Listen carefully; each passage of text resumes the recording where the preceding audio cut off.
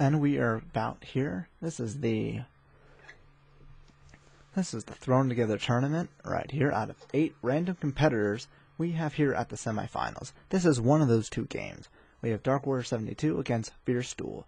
Now, difference between these kinds of duels, you never really know what you're going to get because they're not doing kind of their own kind of test. These players are going all out right now.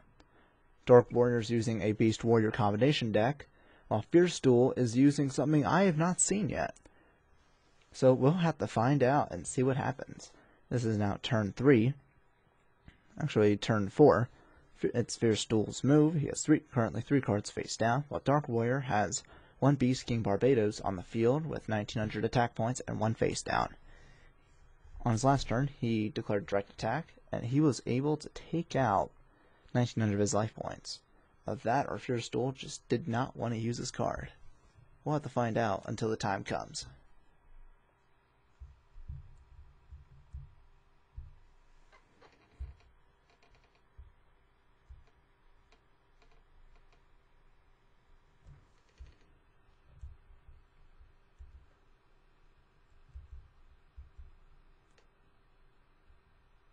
and he doesn't do anything. Fierce Duel stays solid. Dark Warrior summons a Boxer, a level 4 warrior type, and is able to do two more direct attacks.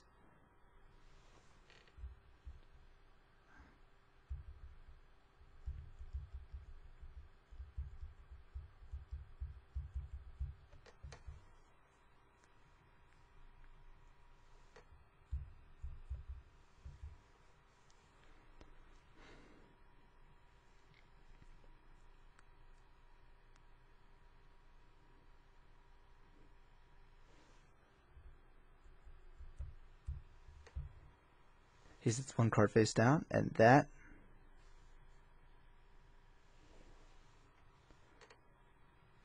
that's to be it right now. Dark Warrior looks like he's to declare an attack.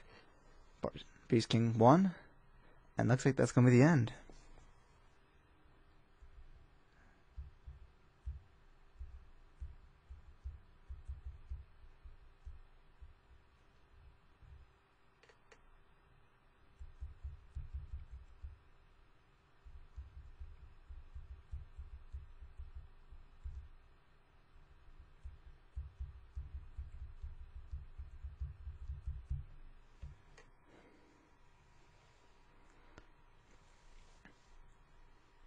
Game 1 ends with Dark Warrior's victory. If Dark Warrior wins one more game, he will advance to the final round, which we are going to be playing against someone else. I actually don't know who would be the, in the final person. It was a very well put together tournament. It was just a big collaboration of people.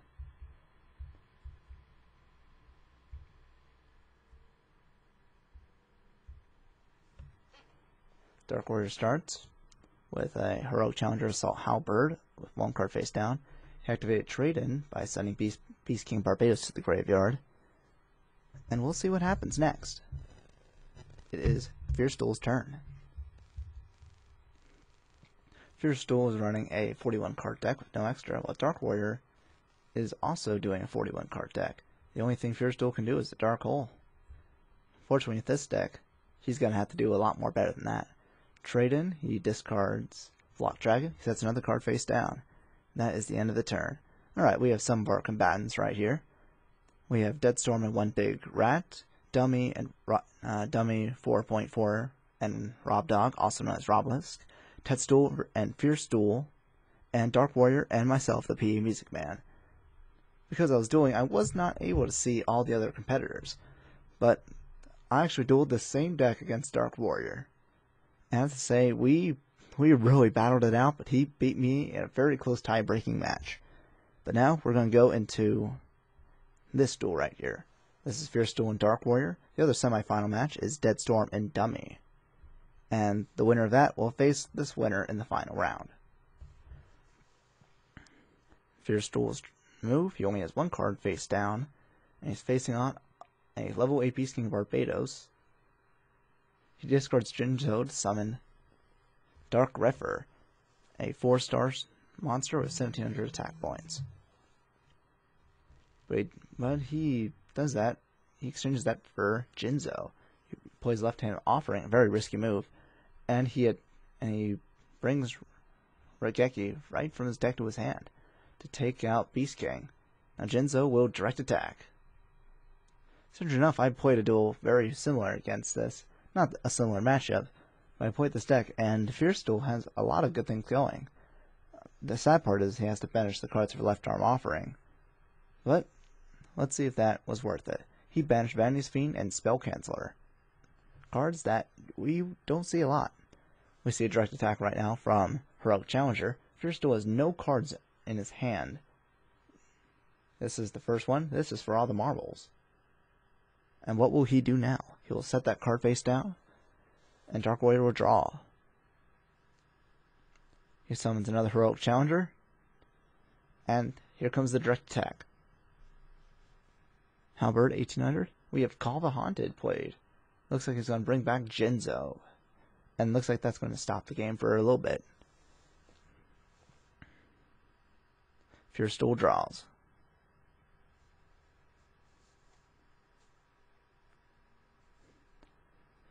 Oh, this. He tributes it for Jinzo Lord.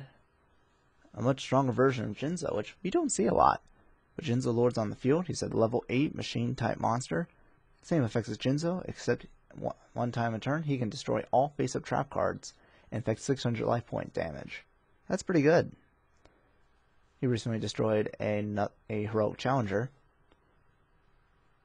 But Dark Warrior has been in harder spots before. He switches his challenger to defense mode, and it looks like that might be the end of his turn.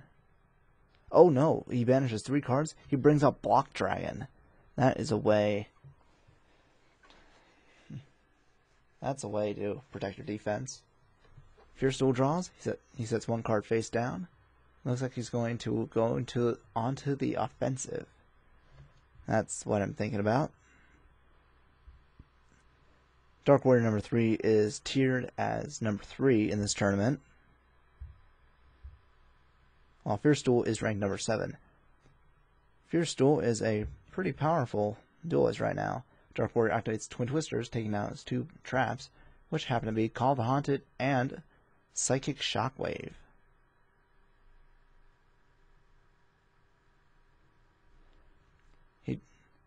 Puts his only card face down. It looks like he's really facing that block against that block dragon.